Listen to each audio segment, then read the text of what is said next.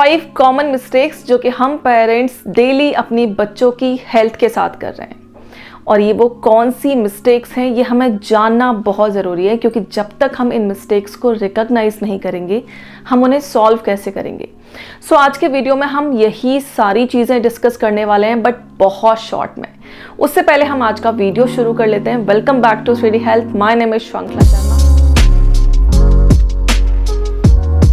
सबसे पहली मिस्टेक पानी के बारे में। पानी बच्चों को कितना पीना है और कब पीना है, ये हमें बच्चों को शुरू से सिखाना होगा।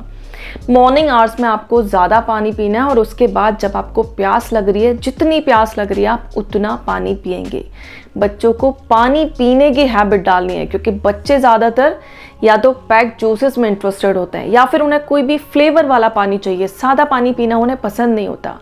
सो उन्हें पानी, जो सादा पानी है, उसको पीने की आदत हमें डालनी होगी। दूसरा, पानी हमें कब नहीं पीना है, ये हमें बच्चों को ज़रूर बताना है। खाने के बीच में बहुत ज़्यादा पानी नहीं पीना है, एक दो सिप चलेगा। और खाने के तुरंत बाद बहुत सारा पानी हम बच्चे को नहीं दे सकते। ये चीज़ें हमें बच्चों को क्लियर करनी होंगी कि खाना खाने के कुछ देर बाद हम पानी पी सकते हैं। अगर आपने कुछ बहुत ज़्यादा मीठा खाया है, बहुत ज़्यादा स्पाइसी ऑयली खाना खाया है, उसके बाद तो आप पानी बिल्कुल भी नहीं पी सकते। और ये चीज़ें अगर बच्चे को शुरू से क्लियर हैं तो फिर उसकी हैबिट में आ जाती हैं। फिर बच्चे इन चीज़ों के हैबिचुअल हो जाते हैं और वो इन चीज़ों की डिमांड नहीं करते हैं। दूसरी फ्रूट्स कब और कितने? अब फ्रूट्स हमारे लिए कितने इंपॉर्टेंट है? आई होप हम में से ज़्यादातर लोगों को पता है। सो so, हम हमारे बच्चों को भी सिखाते हैं कि बच्चों फ्रूट्स खाने हैं। लेकिन कब खाने और कितने खाने उसका आइडिया हमें होना बहुत ज़रूरी है। सो so, अपने बच्चों को आप शुरू से हैबिट डालें कि फ्रूट्स हमेशा मॉर्निंग आवर्स में ही खाए जाने चाहिए। ऑल आप उनको आफ्टरनून में भी खा सकते हैं आप स्नैक्स टाइम में भी खा सकते हैं बट रात को फ्रूट्स नहीं खाने चाहिए। और ये हैबिट हम जब तक अपने बच्चों में डेवलप नहीं करेंगे वो ये चीज़ नहीं समझेंगे।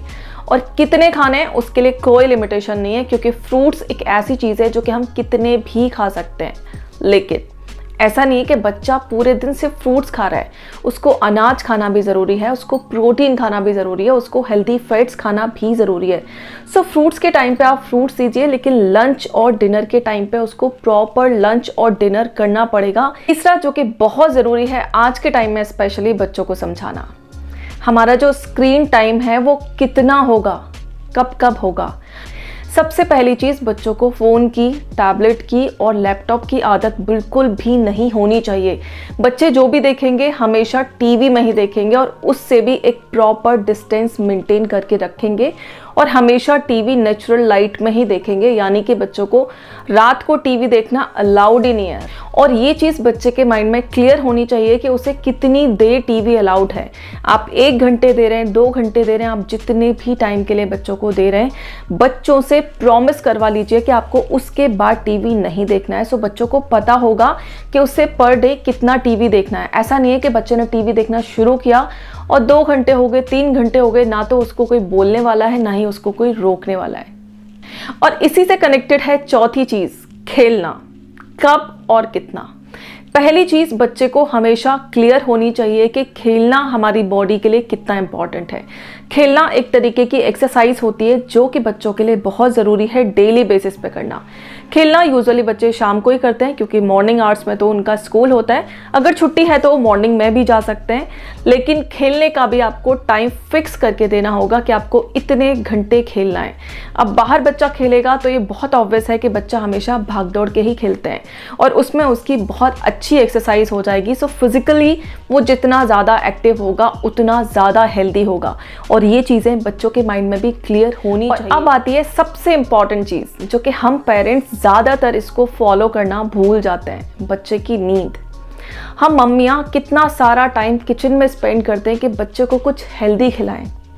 लेकिन क्या आपको पता है बच्चे कब ग्रो करते हैं? जब खाते हैं तब। ऑफ़ कोर्स तब भी करते हैं लेकिन बच्चे ग्रो कब करते हैं? जब बच्चे सोते हैं जब बच्चे रेस्ट करते हैं। सो so, एक बच्चे के लिए स्पेशली सोना रेस्ट करना बहुत ज़रूरी है। आप दिन में एक घंटे बच्चे को ज़रूर सुलाएँ और रात को उसकी नींद पूरी होनी चाहिए। ये इंश्योर करेंगे आप पेरेंट्स बच्चा जल्दी टाइम से सोने जाएगा और मॉर्निंग में भी टाइम से उठेगा। दोस्तों आई होप आपको इन्फॉर्मेशन यूजफुल लगी हो। अगर लगी है तो प्लीज़ इसे लाइक करें शेयर करें और कमेंट में बताना ना भूलें कि आपको कौन सी चीज़ सबसे अच्छी लगी और कौन सी चीज़ मिसिंग लगी। दोस्तों, अगर आपको ऐसी ही वीडियोस में इंटरेस्ट है, अगर आप चाहते हैं इसी तरह की वीडियोस और देखना तो चैनल में एक प्लेलिस्ट है। जो कि स्पेशली बच्चों के लिए आप जाके ज़रूर चेकआउट कर सकते हैं ऑल उसका लिंक आपको डिस्क्रिप्शन में भी मिल जाएगा। सो so, मिलते हैं ऐसे किसी और वीडियो में किसी और टॉपिक के साथ तब तक के लिए bye take care stay healthy and stay happy thank you so much